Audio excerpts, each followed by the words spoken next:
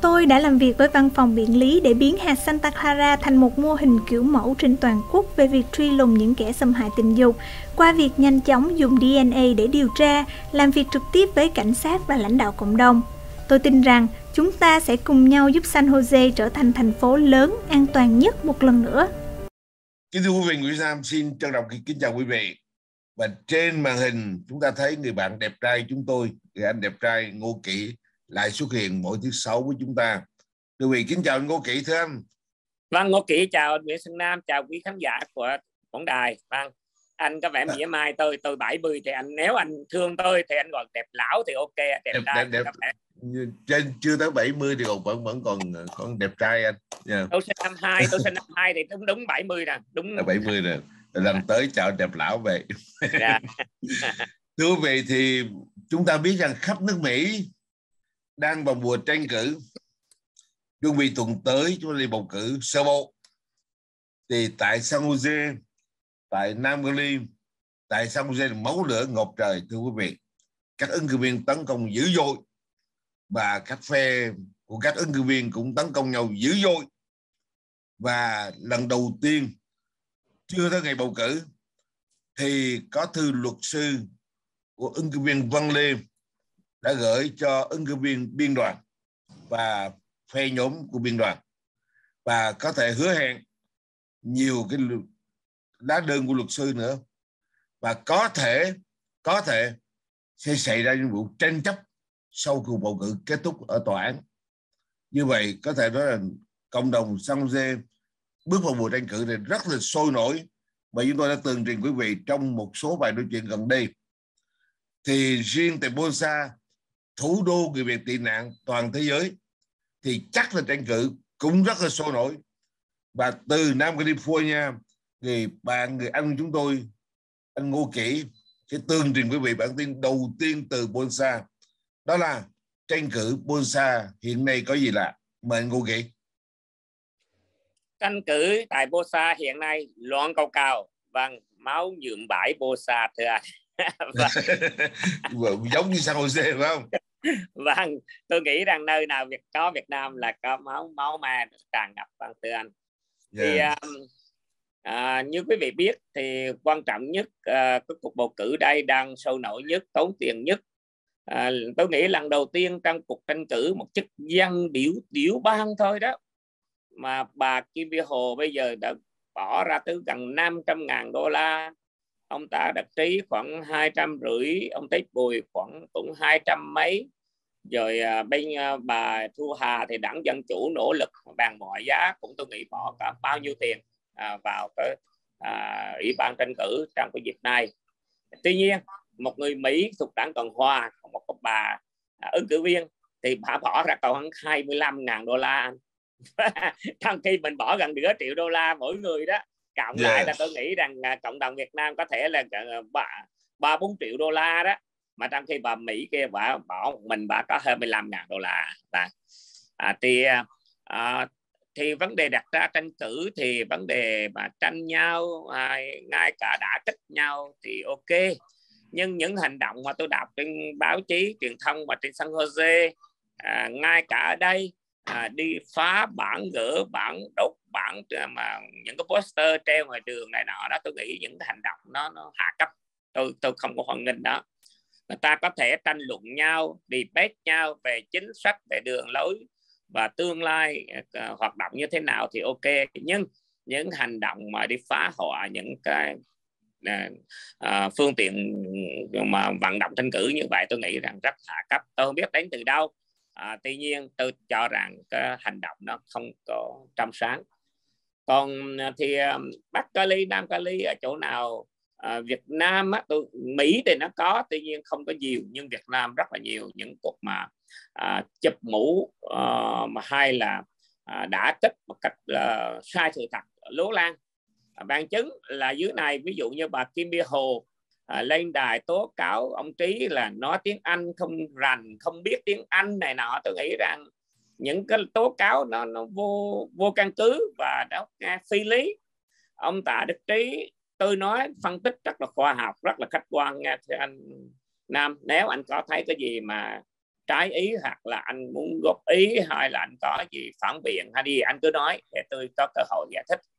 Tôi trình bày sự thật và sự thật mà thôi à, anh thấy ví dụ bà Kim Hồ bà có thể bà lên tiếng à, chê ông trí chính sách đường lối ông à, không có lợi cho dân chúng hay không tốt này nào ok. Nhưng bây giờ bà là người làm việc với ông Tạ Đức Trí gần 7 năm à, trong hội đồng thành phố Wester ba là các người nhờ cậy ơn mưa móc ông Tạ Đức Trí để mà ông Tạ Đức Trí dẫn bà vô con đường chính trị. Chính ông Tạ Đức Trí là người uh, endorse và giới thiệu bà uh, năm 2016 à, gì đó. À, con đúng rồi. Là lần đầu tiên bà vào đó thì bà không thể phủ nhận cái người mà giới thiệu bà đưa bà đi vận động xin tiền hay này nọ. Tất cả lễ lọc gì của bà tổ chức đều mở trả trí tới. Và bà liên kết cho tạ trí ngồi trong hội thành phố ít nhất là 5 năm coi như đồng chí đồng rặng đồng chiến hữu vân vân mà bây giờ bà quay ngược là bà tranh cử với ông tạ đức trí đó là quyền dân chủ tự do của mỗi người. Nhưng bây giờ bà lại đi nhục mạ cái người mà mình từng cộng tác. Và ông tạ đức trí uh, khách quan mà nói ông ta là một người uh, kỹ sư một người học về political science về chính trị học tại đại học UCI một đại học rất là lớn ở đây. Và ông ta đã nắm chức nghị viên mười mấy năm và thị trưởng gần 10 năm như vậy hai mươi mấy năm ông ta làm dân cử không lẽ nếu ông ta không biết tiếng Anh thì làm sao ông ta ngồi đó điều hành điều hợp những phiên họp hay những làm việc của thành phố? Vâng thưa anh Nam thì à, bây giờ thì đối với tôi thì à, à, trong cuộc tranh cử nào thì cũng có những cuộc à, chỉ trích hay những phản đối nhau thì chuyện bình thường. Ở Bắc Cali, Nam Cali chỗ nào có tranh cử là vậy? Ngay cả người Mỹ, người Tàu, người Nhật, người Mỹ đặc biệt người Việt Nam thì nhiều hơn tất cả thưa anh. Tôi không biết tại sao.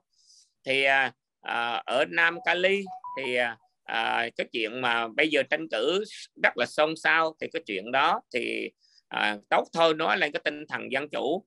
À, tuy nhiên à, cái điều đặc biệt là cuộc tranh cử chức chỉ chức dân biểu tiểu bang tôi muốn mở dọc kép là tiểu bang thôi chứ không phải liên bang.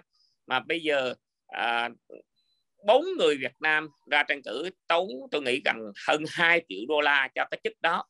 Như bà Kim Hồ gần 500 ngàn đô la ông Đạt Trí cũng 250 ngàn đô la ông Tết Bùi cũng 250 ngàn đô la bà à, Thu Hà tôi nghĩ cũng mấy trăm ngàn đô la gần mấy triệu. Tuy nhiên có một người Mỹ à, à, người đảng Cộng Hòa bà Mỹ bà tốn tới 25 ngàn thưa anh. Tôi không hiểu tại sao cái cái sự tốn kém của người Việt Nam quá nhiều cho một cái chức như vậy thì à, cái chuyện à, tranh cử nhau thì cũng giống như bác Cali của anh này nọ, tôi nghĩ có mấy cái ứng cử viên người Việt này nọ đó cũng tranh cãi nhau thì ok, nhưng tôi không có hoan nghênh những hành động đi phá những tấm bản hiệu hay những cái poster hay những cái tài sản của người ta trong khi người ta tranh cử điều đó không có lành mạnh. Trở lại Nam Cali thì cái chuyện mà tôi rất là bất mãn về cái chuyện mà tranh cử nhau một cách không lành mạnh và không đúng sự thật có thường trình độ của quần chúng là việc bà Kim My Hồ là hiện tại là nghị viên thành phố Wester và ông Tạ Trí là thị trưởng Wester hai người kháng khích nhau hơn 5 năm trời.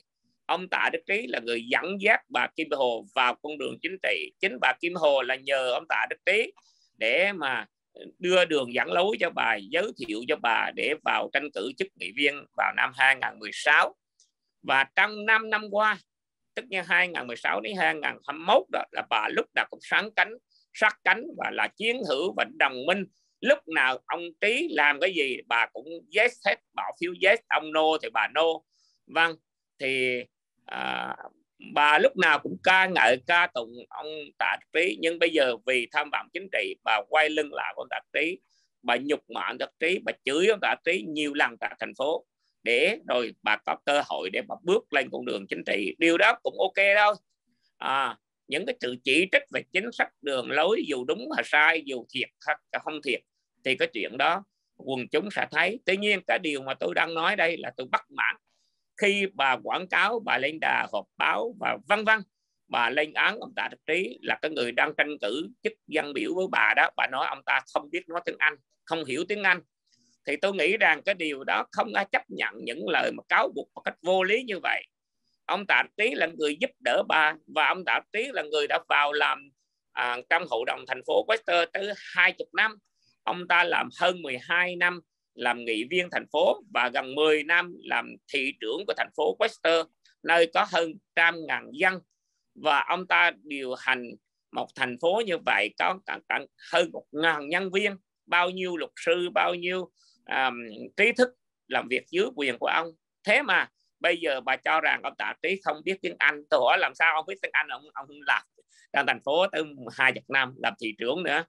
Và ba đã từng cộng tác làm việc với ông. Tại sao lâu nay bà không nói? Vậy bây giờ bà tranh cử bà đi tố cáo như vậy.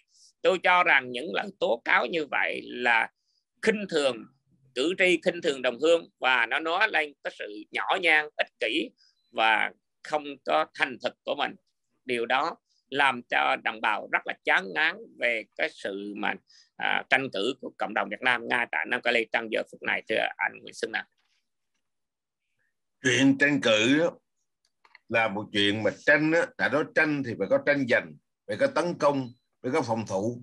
Nhưng mà cái cái đạo đức á, nó phải nằm dưới cái sự tranh tranh luận đó dưới cái tranh cãi đó. Bởi nếu không á, thì giữa cái vô đạo nói dối nó sẽ xuất hiện. Ví dụ trên sân Jose cũng có gần đây có vấn đề bàn tán rất là xôn xao mà rất tiếc là ứng cử viên biên đoàn không xuất hiện để trả lời cho những cái về những cái phía ờ, báo báo chí về cái tình trạng một một cái một cái flyers mà tôi đưa trước, trước mặt anh nè đúng không? Cái tình trạng flyers này thì cái đó là cái lúc mà kỳ mà uh, dịch đó, thì cái học khu Eastside Union High School District đó, một, nó có ký contract mỗi năm là 700 ngàn đô la với cái lực lượng cảnh sát ngoài giờ. Thì đến lúc mà bị covid đó, thì trường học có đóng cửa toàn bộ trường học đóng cửa anh em con em ở nhà học zoom cơ mà. Thì cảnh sát tới bảo vệ cái, các em chỗ nào thì trường học nó cắt cái hợp đồng tạm thời là thôi các em nó đang covid ở nhà, thôi, các anh khỏi tới trường mà gác các em nữa. Các em các em tới trường đâu gác. Các thầy giáo tới trường đâu gác. Vậy mà trên tờ flyer là bảo là, mà cái việc mà thông qua cái đó là của ông tổng giám đốc hồng khu trong bài của cô Văn Lê. Và như vậy đó là nó tất cả những người mà trong ban trách nhiệm, ban giám đốc, tổng giám đốc hội đồng quản trị đều bầu thuận một trăm phần trăm. Nhưng cái cái flyer của phía bên đoàn tung ra đó là cô Văn Lê là trong lúc dịch đang nổi lên uh, trong lúc bạo động đang nổi lên thì Văn Lê cắt cảnh sát khiến người ta thấy cô thì sao ác độc vậy? Từ đó kết luận là gì? Chúng ta không thể tin tưởng vào Văn Lê để giữ cho thành phố San Jose an toàn. Cái phát nó trật mà cái phát nó trật á, thì dẫn đến gì? Cái kết luận nó trật mà trong giờ chót này thì họ tung ra cái đó như một cái món đòn sát thủ để đánh gục đối phương. Kể cả tung tin giả, kể cả tung tin bịa. Cái chuyện này tối qua chúng tôi biết trong một nhóm anh em trí thức tại thành phố San Jose cũng tranh luận nhau tới khoảng một giờ sáng. Các phe nhóm tranh luận nhau tới một giờ sáng. Thì mới thấy là cuối cùng là cái phe đứng về phía mà chống đối của Văn Lê cũng phải đồng ý rằng cái cái flyer này là tầm bậy, Đúng không? thì mình thấy rằng tới cái đoàn mà tới trước ngày bầu cử, nó tung ra đủ thứ tin, kể cái tin láo. Mà như vậy, cái tin láo thì trước mắt có thể có được phiếu, nhưng anh nghĩ mà làm sao mà anh lại đối xử đồng bào kinh thường đồng bào đến mức độ lệnh cho tin láo? Anh coi cái trí khôn của đồng bào, anh coi tri thức của đồng bào ở cái, ở mức độ nào mà anh cứ tung tin láo ra như vậy. Và tôi nói trong bài nói chuyện của tôi trên đài này, trong chương trình khác, là chỉ trong một tuần thôi mà ba tiếng láo thuộc loại cố gì dầu xuất hiện. Vậy thì anh lừa gạt cộng đồng một cách rất là kinh hoàng. Thì chúng ta sẽ nói chuyện này tiếp, nhưng mà cái đồng bào mình trong cái cuộc bầu cử giữa nhiệm kỳ thì nó đi chắc không đông mà không phải bầu cử tổng thống lên, phải không? Thì tôi nghĩ bầu cử đi không đông trong đợt này. Nhưng mà cái độ sát thủ nó cao quá. Ờ, độ sát thủ cao quá. Tung tung ra tin láo, tin xạo. Và ở tại San Jose nó có một cái sự, một cái hiện tượng mà chúng tôi rất là lấy làm lo lắng. Mà chúng ta thấy một số nhân vật và gần gũi với Hà Nội thì theo theo theo một số báo chí đưa tin, theo số trên trên trên trên hình ảnh trên internet, thì những nhân vật đó lại ủng hộ cho một ứng cử viên trong đợt này một cách rất nhiệt tình đằng sau cái viên đó thì người ta thấy bóng dáng của thủ tướng, bóng dáng của những cái người ủng hộ thủ tướng cộng sản việt nam, bóng dáng của những người ủng hộ ông chủ tịch việt nam khi chủ tịch việt nam, thủ tướng việt nam đến mỹ thì họ tìm đến gặp và đốn điếu. Thì như vậy đó, thì nếu anh đắc cử, anh có bị dẫn dắt không? Đó là vấn đề mà người việt tị nạn rất là lo lắng trong giai đoạn này. Thì chúng tôi tiếp tục sẽ theo dõi vấn đề này. Chúng tôi không kết luận gì hết là ai đứng ở phe nào nhưng ta nhìn thấy một số hiện tượng và bắt đầu người ta có sự suy diễn và sự suy diễn có, có một chút lo sợ thưa quý vị. Nhưng mà chắc chắn rằng con cái cái cây kim ở trong bọc thì có ngày đông loài ra. Trước sau đông loài ra thì chúng ta sẽ chờ nó lúc nó loài ra chúng ta sẽ kết luận. Trở lại ngô kỹ thôi à, vâng ở điều anh nói à, từ nga tôi cũng buồn. Vâng tại tôi với anh anh em mình cũng à, dù không phải là chính trị gia dù không hề tranh cử này nọ nhưng à, thật sự sinh hoạt chính trị mình này nọ mình cũng quen biết quá nhiều mình đã liên hệ quá nhiều từ lâu từ mấy chục năm trước ra à, càng ngày tôi thấy càng tồi tệ ra à, à, tôi tưởng rằng càng ngày học được cái văn minh nước Mỹ nhưng rồi cộng đồng Việt Nam những người ứng cử viên họ quá tệ đi. Do đó những điều à, anh nói nó làm tôi rất là chán ngán. Vâng lâu nay tôi tưởng những người trẻ họ khá hơn à, tuy nhiên càng ngày có thấy càng tệ. Bằng chứng như ừ, cái vấn đề anh đang nói đó. À, người ta có thể tranh chấp ha, không đồng ý về cái chính sách đường lối ngay cả chỉ trích những cái chuyện mà sai trái của những người khác. Cái điều đó uh, điều đó đáng hoan nghênh tại vì cần phải vạch cho đồng bào thái. Nhưng bịa ra những cái chuyện mà nó láo khoác nó không có đúng sự thật như trường hợp Bắc Cali của anh cũng như trường hợp ở Nam Cali chúng tôi vừa qua tôi nói cái vụ bà Kim Hồ tố cáo ông Tạ Trí à, không biết tiếng Anh không hiểu tiếng Anh mà trong khi ông là tốt nghiệp à, uh, political science uh, à, về uh, khoa học chính trị của Mỹ tại trường đại học nổi tiếng à, của UCI và ông ta là kỹ sư và ông ta là chủ tịch cộng đồng ông ta lãnh đạo của tổng hội sinh viên và làm à, hội đồng thành phố vừa nghị viên thị trưởng gần hai chục năm trời mà bây giờ bạn nói là không biết tiếng Anh tôi nghĩ điều đó. Có ai chấp nhận được không thưa quý vị? Vâng.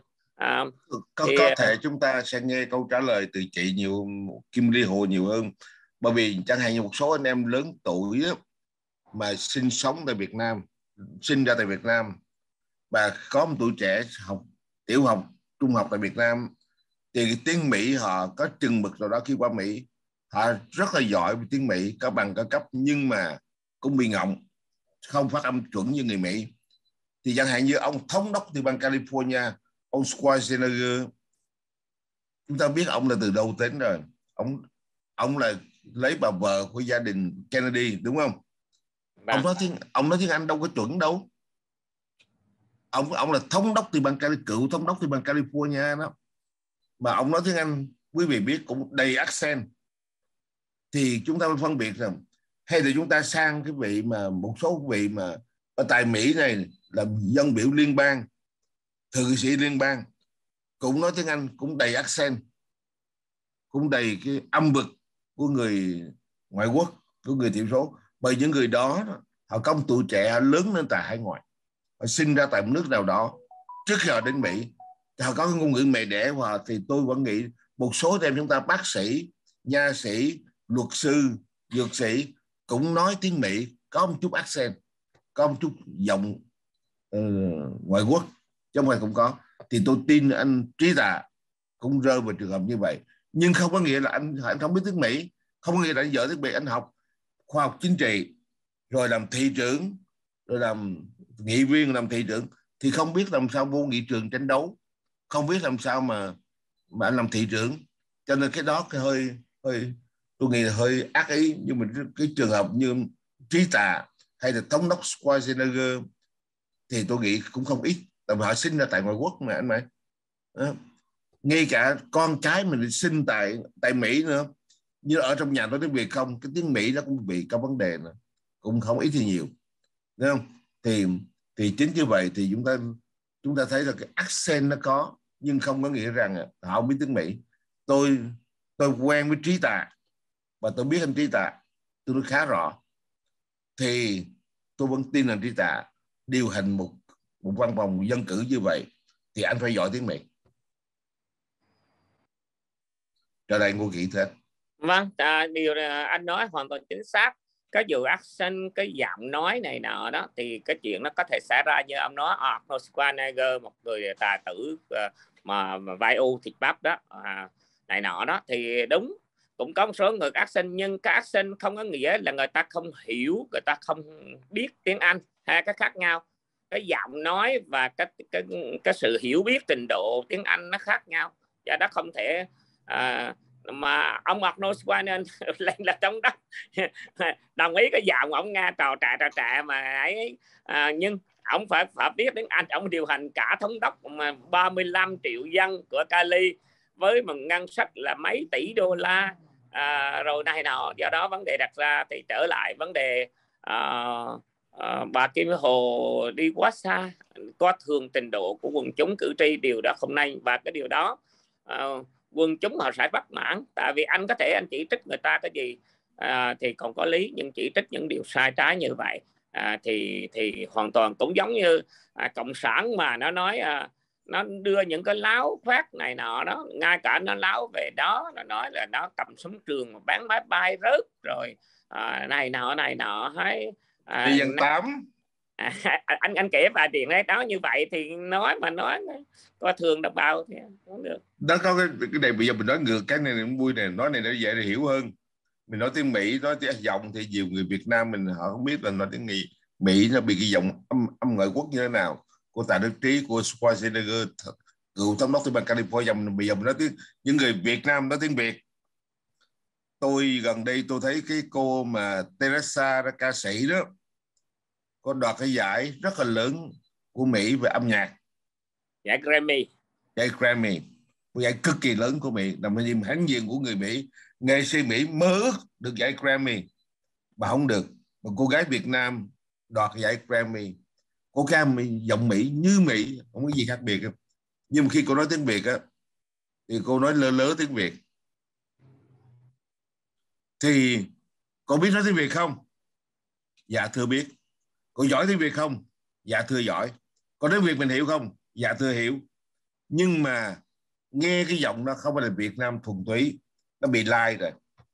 Cô một cô gái Việt Nam, người Mỹ gốc Việt, sinh tại Mỹ nói tiếng Việt làm sao giống như người Việt mình nói. Như tôi với anh nói được.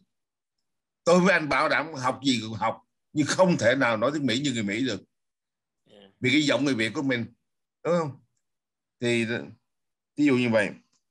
Chúng ta thấy nhân vật thứ hai là cô Đăng Nguyễn làm đại truyền hình CBS cô gái Việt Nam. Qua Mỹ lúc 3 tuổi nói bây giờ đi dạy tiếng Mỹ mà chê người Mỹ nói không ra Mỹ nữa. Nhiều người Mỹ nói ngọng đúng không cô nói tiếng Mỹ như Mỹ. Nói cho người Mỹ nghe trên đài truyền hình Mỹ. Nhưng khi cô nói tiếng Việt cô giỏi không? Giỏi tiếng Việt làm MC của Asia mà xong giỏi tiếng Việt? Nhưng tiếng Việt của cô đó là tiếng Việt của Mỹ. Nó cũng ngọng ngọng tiếng Việt. Nhưng bạn nói cô không biết tiếng Việt đó, thì chập qua hai trường hợp nhân vật nổi tiếng mình nói nói người khác quý vị không, không biết. Hai trường hợp nổi tiếng là Lina Nguyễn và Teresa. Thì cả hai cô đều những celebrity cộng đồng người Mỹ và cộng đồng người Việt là người gốc Việt. Họ nói tiếng Mỹ không chê vào đâu được vì họ sinh tại Mỹ hoặc là lớn lên tại Mỹ. Nhưng mà tiếng Việt họ mình nghe mình biết họ là người Việt người Mỹ gốc Việt. Thì cái đó bây giờ nói cổ biết tiếng Việt thì trả hay thì tôi nghĩ cái trường hợp của anh anh anh anh anh anh, anh Tạ Đức Trí cũng vậy đó. Thì anh cũng giống mà lớn lên tại Việt Nam rồi qua Mỹ, thì làm sao mà anh nói tiếng Mỹ như người Mỹ được? Không ăn hamburger từ lúc mới lọt lòng mẹ ra thì không thể nào nói tiếng Mỹ giỏi. Không thể nào nói tiếng Mỹ như người Mỹ được á. Cái đó là chúng ta phải chấp nhận. Mà có nghĩa, không có nghĩa rằng vì cái tiếng Anh như vậy mà không làm được việc. Chúng ta thấy thống đốc California, làm thống đốc tiểu bang California và tiếng Anh thì bị bị lai. Thì cái chuyện đó chỉ trích cái đó là trật lất anh chỉ trích cái đó là ác ý. nó trật lất không ác ý. Ừ. anh anh tạ trí anh quen anh tạ trí thì cái cách anh nói chuyện ngay cả tính tình ảnh nói nhẹ nhàng chậm rãi rồi nhiều khi tại thôi chắc không có hồ đồ ồn ào này nọ. Thì có. À, tôi cũng ghi nhận điều đó. Tuy nhiên không có nghĩa là cái trình độ không có tiếng Anh. Thì nói chung lại thì quý vị biết rồi cứ nói là anh ta tốt nghiệp trường đại học là học political science biết học về chính trị, khoa học chính trị là phải rất phải thành thạo tiếng Mỹ, càng hơn các ngành khác đó. Rồi làm cho dân tử hơn hai chục năm vừa nghị viên thị trưởng. Do đó tôi nói không phải là binh vực hay này nọ trong đại thực tế chúng tôi chỉ nói là sự kiện, và đó sự kiện đó là có thật. Tôi sẽ gửi anh những cái video bà Kim Hồ bà Tổng công khai mà bà làm việc với ông Tý 5 năm trời à, mà nếu mà ông ta không có trình độ thì bà đã đá đít ông hoặc trúc phế ông rồi. Do đó à, do đó điều đó nó không có chính xác vâng thì thưa anh à, vâng bây giờ mình qua à, một cái đề tài khác là bên à, à, bên Westminster à, nói riêng thủ thủ phủ thủ đô lịch Sài Gòn đó. Yeah. thì có cái dự luật mà anh em mình có nói đó là dự luật C đó à, mà tiếng Việt là C đó à, à, ABC đó. À, thì bây giờ rất là sâu nổi. Và cái điều cũng là láo khoét nữa. À, bà Kim Bia Hồ ông Tài Đỗ cặp Los Peso là ba cái người này á là cấu kết với nhau để mà đưa ra để mà dân chúng bỏ phiếu vào cuộc bầu cử sơ bộ này tại thành phố Wester vào ngày 7 tháng 6 này đó. Lý do họ đưa ra cái dự luật này đó là C đó ABC đó dự luật C đó là lý do là họ nói rằng à, bây giờ à, thành phố Wester lâu nay mấy chục năm này là dân chúng cử tri đi bầu cho chức thị trưởng của thành phố. Mà đặc biệt là như tạ đức trí đó dân chúng bầu cho ông đắc cử tới mười mấy năm đó là do dân chúng đi bầu trực tiếp. Cử tri dân chúng đi bầu nghị viên một phần nhưng có bầu cho thị trưởng nữa lao na thành phố cái tê có bốn nghị viên thì bầu cho bốn người nghị viên và bầu riêng cho một người thị trưởng. Thì tất cả dân chúng cử tri cả thành phố bầu cho thị trưởng. Nhưng bây giờ các tam nhân bang là Kim Bia Hồ à, Tà Đỗ và Cật Lớp Rezo họ đấu luật. Họ nói bây giờ cử tri dân chúng chỉ bầu cho nghị viên. Mà bây giờ muốn đưa thành phố cái tơ thành thay vì bốn nghị viên thì đưa là năm nghị viên, thêm một nghị viên nữa. Và thành phố cái tơ bây giờ chia từng địa hạt địa hạt một, địa hạt hai, ba, bốn, năm. Tiếng mỹ gọi là district đó. Rồi khi bầu cho năm nghị viên xong đó, thì năm nghị viên đó tự động năm người bỏ phiếu cho nhau để đưa một người lên làm thị trưởng. À nghĩa là nghị viên bầu thị trưởng, chứ không phải là dân cư hay là đồng bào cử tri bầu trực tiếp cho thị trưởng. Thì khi họ đưa lên như vậy đó, lý do tại sao họ muốn thay đổi, thưa anh Nam, không biết anh có biết không? Trang thăm sau là tại vì bà Kim Hồ, ông Tà Đỗ, ông Cật Los và phe đảng đó, muốn ra tranh cử thị trưởng. Nhiều lần muốn ra tranh cử và ông Tà Đỗ này nọ đã từng ra rồi nhưng thất bại. Tại vì đồng bào cử tri, nói chung là cử tri là gồm có người Tàu, người Mỹ, người Việt Nam này nọ đó khi mình nói đồng bào là mình nói riêng cử tri người Việt Nam đó. Là cử tri ở Western, họ bào cho ông Tạ Đức Trí làm thị trưởng, mà họ không bào mấy người kia. Chính vì vậy mà bà Kim Hồ, ông ta đổ và ông Cật Los có tham vọng muốn ra tranh cử thị trưởng, nhưng biết rằng nếu mình ra tranh cử thị trưởng thì cử tri sẽ không bầu cho họ. Chính vì vậy mà bây giờ họ muốn từng vùng bầu cho nam nghị viên và hiện tại bà Kim Hồ, bà biết rằng có pha bà nắm đa số. Bà Kim Hồ, ông ta đổ ông cặp Los Bezos hiện tại là nghị viên.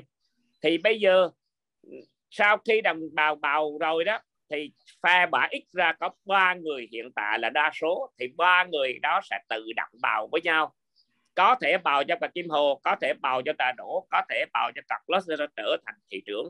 Do đó, họ muốn rằng không bào trực tiếp cho thị trưởng, để nghị viên bào để họ có cơ hội. Ba người đó sẽ trở thành thị trưởng. Thì cái điều đó thì cũng ok đi. Nhưng cái điều mà tôi đang phản đối là họ khi họ vận động đó, thì họ nói rằng cái dự luật C đó là bào để chống tham nhũng. Nó không ăn nhậu gì, liên hệ tham nhũng. Cái dự luật C đó, chủ trương là chỉ bào bỏ cái quyền của cử tri bầu trực tiếp thị trưởng mà phải bầu cho nghị viên và để nghị viên tự bầu cho thị trưởng. Cái nội dung như vậy. Nhưng khi họ tranh cử, khi họ đi gán bản thì họ nó bầu cho lực dự luật C để chống tham nhũng. Thì thưa anh, tôi đi dành cho anh nga các lý không? Tự nhiên ờ, dự luật C thì họ nói là, họ phải nói là bầu luật C để tước quyền dân bầu trực tiếp thị trưởng. Để nghị viên bầu thị trưởng thì ok. Còn đây họ để rằng bầu dự luật C để chống tham nhũng. Thì thưa anh đó là một trò rất là lưu manh. Là dân chúng nhiều khi họ không biết cái nội dung như thế nào. Họ thấy ô dự luật C chống tham nhũng thì mình bầu cho dự luật C tá ra đi vào cái âm mưu của họ. Thưa anh Nam thưa anh anh có thể anh trình bày thêm ý kiến của anh. Ờ ở đây có hai chuyện. Nếu như anh nói thì đó là treo đồ heo bán thịt chó. Đúng. Thứ hai nữa là cái đó là nó không có nó không có công bằng với tại đức trí không có công bằng với cộng đồng Việt Nam không có công bằng. Và cái thứ hai nữa về lý luận nó cần phải thuyết phục hơn. Ví dụ như nếu như vậy thì người Mỹ đâu cần bầu tổng thống. Đúng. Lần trước anh nói người Mỹ cái bầu quốc hội đi quốc hội bầu tổng thống. Mà như vậy cái đảng cộng hòa đảng dân chủ nó nắm đa số quốc hội là ông tổng thống nó nằm cái đảng nó muốn muôn đời. Hai anh nói hai rất là hay vâng đưa anh đến là. Thì, thì cái đó ý kiến của anh vậy của nam nam đi nhắc lại thôi cái thứ ba nữa, nước mỹ, tại sông dê ví dụ như vậy? Thành phố lớn như sông dê 10 nghị viên 10 quận hạt và thành phố trăm triệu dân. Thành phố lớn thứ 10 của nước mỹ. Ở đây sông dê làm cái gì? Cũng có cuộc bầu cử thị trưởng riêng, bầu cử nghị viên riêng. Tại sao những cái điều như vậy? Nếu cải tổ thì tại sao không cải tổ thành phố lớn San Jose ở Silicon Valley ảnh hưởng nặng hơn, tầm vóc thế giới hơn. Tại sao không cải tổ ở thành phố này? Và tại thành phố này ông cải tổ và thành phố này nó ngu hơn hơn là thành phố Anh à. Thằng dân thành phố này nó ngu hơn à cử tri thành phố này nó ngu hơn. À cho nên có có cái gì đó mà nó nó nó nó bị kẹt trong cái lý luận và trong cái suy nghĩ. Ngày xưa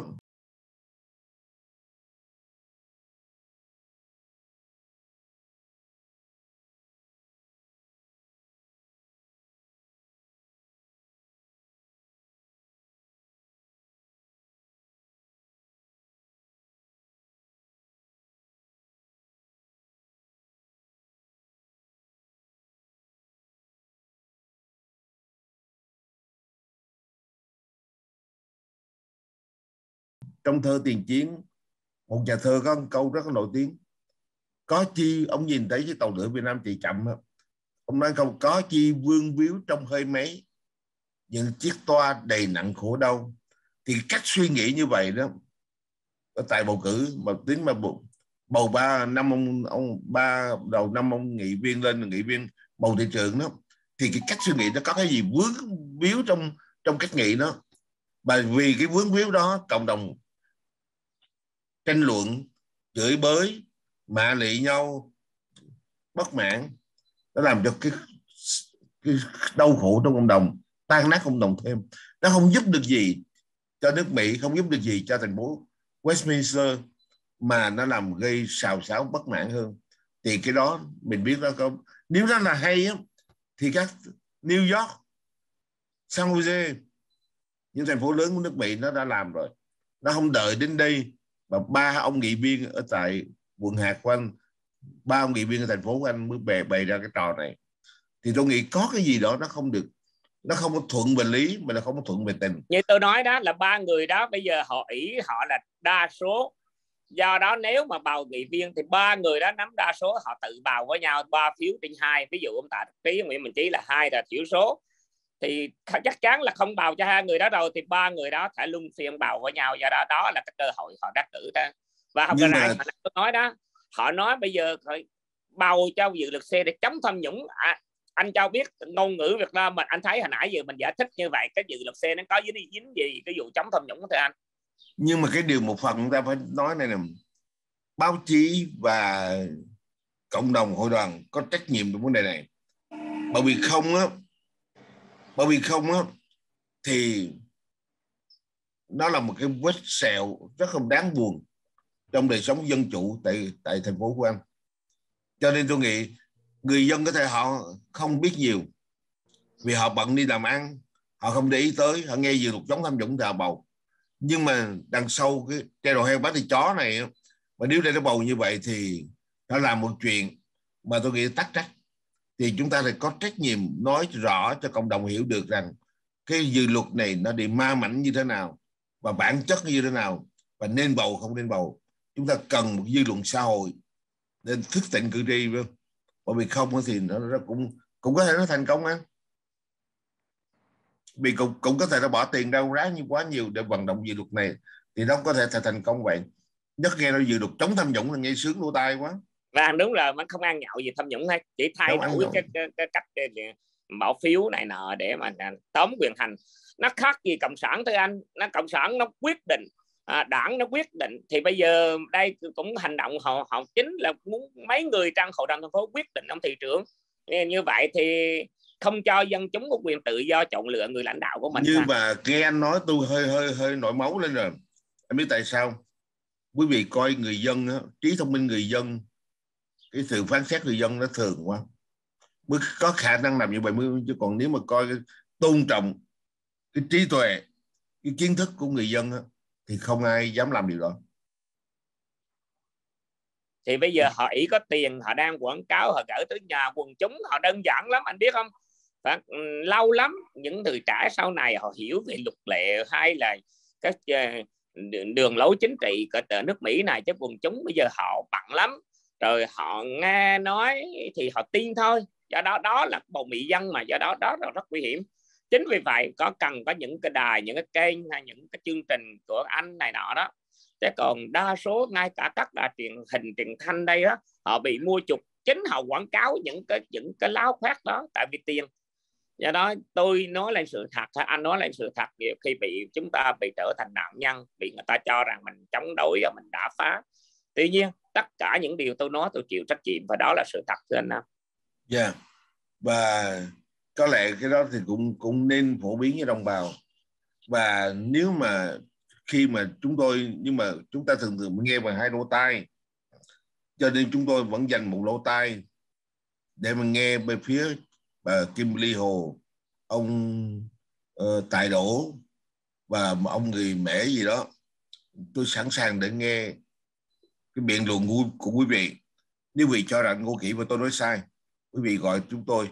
Chúng tôi thưa quý vị chúng tôi mời quý vị lên đài hẳn hoi. Để quý vị có dịp và tôi tôi chất vấn những điều quý vị để quý vị trả lời chúng tôi như như thế nào. Bởi vì cuộc sống á, dưới mặt trời chỉ có chân lý thôi. Có thể có mây mù để che khuất đi một chút xíu. Ở giai đoạn nhưng mà cái chân lý nó sẽ xuất hiện. Ví dụ cái độc tài nó đến Việt Nam như hiện nay nó chỉ là một giai đoạn. Dù nó có thể thêm 5 năm nữa 10 năm nữa 20 năm nữa, nhưng nó sẽ bị chấm dứt. Phải bị chấm dứt bởi vì độc tài phản bội với cái dân chủ tự do và tham nhũng hối lộ thì nó không thể nào tồn tại mãi thế gian này.